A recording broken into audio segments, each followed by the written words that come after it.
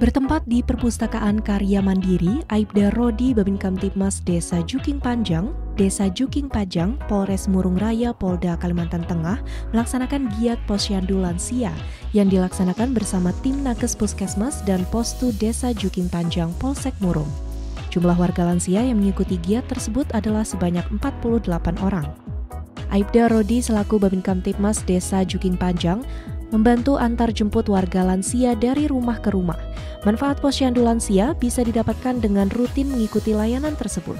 Salah satu manfaat posyandu lansia adalah menjaga kesehatan dan kebugaran orang lanjut usia.